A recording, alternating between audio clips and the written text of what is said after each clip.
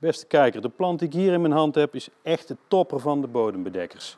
Het is een groenblijvende uh, heesterachtige plant. dat wil dus zeggen dat hij hout, houtachtig is. Het is uh, wintergroen. Het kruipt echt plat over de grond heen. Het wordt niet hoger dan, zullen we zeggen, een centimeter of 8 tot 10. En het, uh, het maakt een mooi gesloten tapijtje. Ideaal dus voor bodembedekking. Het plantje bloeit in juni met een klein wit bloemetje gevolgd door kleine rode besjes, die overigens niet giftig zijn. Echt een super bodembedekker.